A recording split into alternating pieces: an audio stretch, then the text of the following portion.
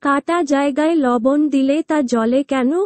বৈজ্ঞানিক ব্যাখ্যা কি? তানজিম হাসান, চতুর্থ শ্রেণি, রংপুর জেলা স্কুল, রংপুর উত্তর।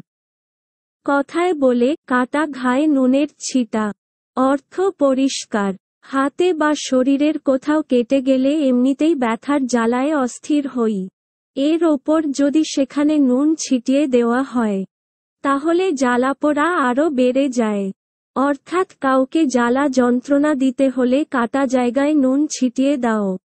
এ কথাটার পেছনে বিজ্ঞানটি হল কাটা স্থানে নুন দিলে সেখানে রক্তের ঘনত্ব বেড়ে যায়।